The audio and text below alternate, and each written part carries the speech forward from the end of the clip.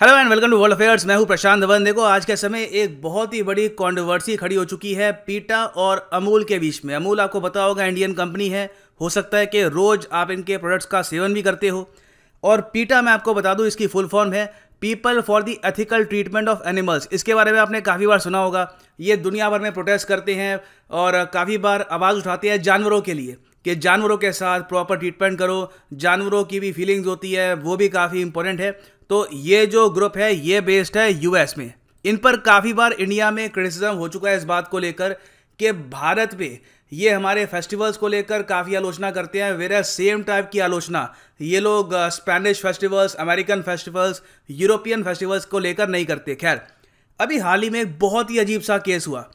अचानक से पीटा ने, अमूल को ये कहा कि आप लोग अब जो डेयरी मिल्क है, ये प्रोड्यूस करना कम कर दो। जो वीगन मिल्क है, ये ज़रा प्रोड्यूस करो। यहाँ पे आप देखोगे, ये हिंदुस्तान टाइम्स का आर्टिकल है respond to market changes PETA ने इंडिया की कंपनी अमूल को ये कहा कि अब वीगन मिल्क बनाओ, यहाँ पर डेयरी मिल्क का टाइम अब खत्म हो रहा है। ना इसके रिस्पॉन्स में आर एस सोडी साहब, जो आज के समय काम कर रहे हैं as managing director of Amul इन्होंने बहुत ही एक अच्छा जवाब दिया। इन्होंने यहाँ पर यह कहा कि फिर किसानों का क्या होगा? दस करोड़ किसान हैं आज के समय भारत में, जो जुड़े हैं डेयरी इंडस्ट्री से। अब ये किसान जो है, इनमें से काफ़ी सारे किसान बहुत पुअर हैं। इनके पास ज़मीन भी नहीं है अपनी के डेयरी फ़ार्मिंग के अलावा कुछ और कर दे। तो इनका हम क्या करेंगे? दस करोड़ लोगों को रोज़गार कहाँ से आप दोगे? फिर एक इशू ये भी है कि आप अगर डेयरी मिल्क को त्याग देते हो और कहते हो मुझे बस वीगन मिल्क का प्रोड्यूस करना है तो वीगन मिल्क की कॉस्ट ज़्यादा होती है। वीगन मिल्क आपको एक लीटर काफ़ी जगह अस्सी से लेकर सौ रुपए के आसपास का भी पड़ सकता है। विराज जो डेयरी मिल्क है, उसे काफ़ी सस्ता है। तो ये बहुत ही रेलेवेंट क्वेश्चन है जो आर एस सोडी साहब ने उठाया। अब यहाँ पे आप बेसिक क्वेश्चन ये पूछोगे मुझसे वीगन मिल्क होता क्या है और डेयरी मिल्क से डिफरेंट कैसे है? और पीटा यहाँ पर क्यों कह रहा है कि जो डेयरी मिल्क है बेसिकली गाय का दूध जो भी हम पीते हैं, इसमें खराबी क्या है? ना first of all vegan milk को ना काफ़ी बार प्लांट बेस्ड मिल्क भी कहते हैं।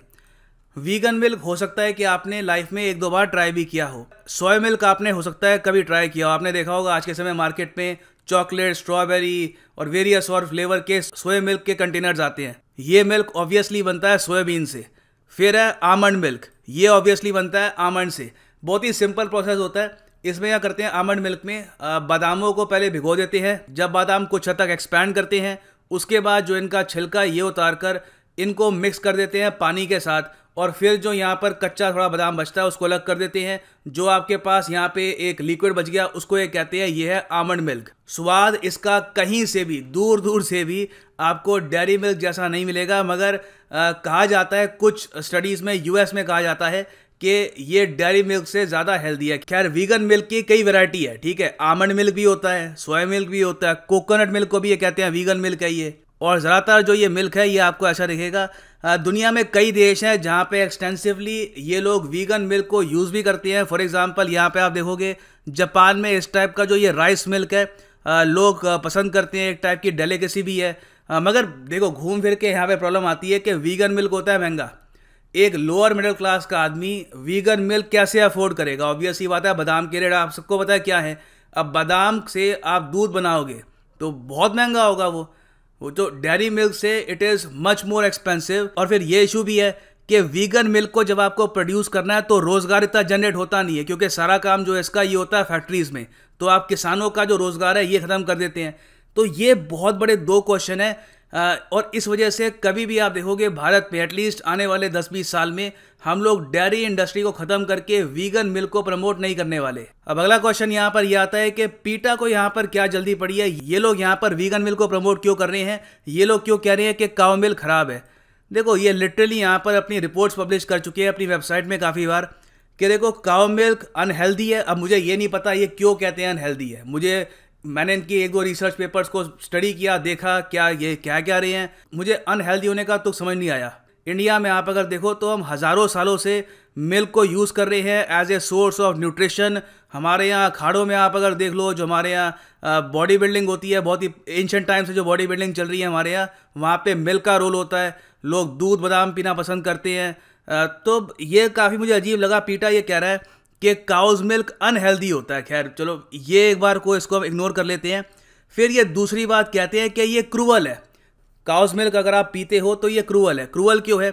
ये अपनी वेबसाइट में देते हैं इसका आंसर ये लोग कहते हैं कि देखो, आज के समय टाइम चल रहा है इंडस्ट्रियल फ़ार्मिंग का। बहुत ही बड़े स्केल पर आपको काउस मिल्क प्रोड्यूस करना होता है। तो ये लोग कहते हैं कि दुनिया भर में आज के समय इंजेक्शन दिए जाते हैं काउस को स्टेरॉयड के फोर्सफुली उनको ज़्यादा मिल्क प्रोड्यूस करवाया जाता है। इंडिया में कुछ केसेस दिखे हैं। हमने देखा है कि ओवर द ईयर्स कई जगह, मैं ये नहीं कहूँगा बड़ी कंपनियों में, मगर कई लोकल जो यहाँ पर मिल्क प्रोड्यूसर्स हैं, ये काफ़ी बार स्टेरॉयड का यूज़ करते हैं काओ को ज़्यादा मिल्क प्रोड्यूस करवाने के लिए। मगर क्या ये ऑल ओवर इंडिया हो रहा है, हर जगह हो रहा है? ये कहना थोड़ा सा मुश्किल होगा।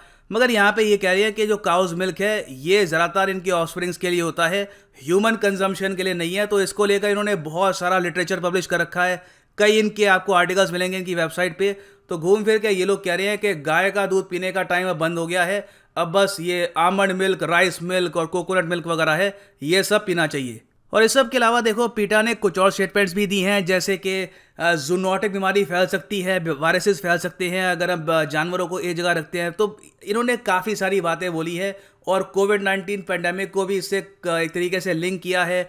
हालाँकि अब तो अब मुख्य धारा में ये बात चल रही है कि कोविड नाइन्टीन पेंडेमिक चाइना की लैब से शुरू हुआ था, बातचीत चल रही है इस पर कन्फर्म नहीं हुआ।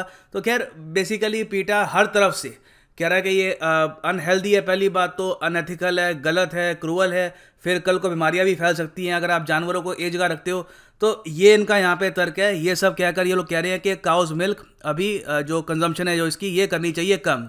मगर अमूल काफ़ी हद तक अपनी जगह खड़ा है, ये कह रहे हैं कि नहीं हमारा ये मानना है कि डेयरी मिल्क अभी भी इम्पोर्टेंट है इकोनॉमी के लिए, किसानों के लिए और लोअर मिडिल क्लास के लिए। क्योंकि अगर आप अगर कम्प्लीटली शिफ्ट कर दोगे वीगन मिल्क की तरफ़ तो एक आम आदमी है जिसकी सैलरी तीस चालीस हज़ार है, वो चाय नहीं पी पाएगा।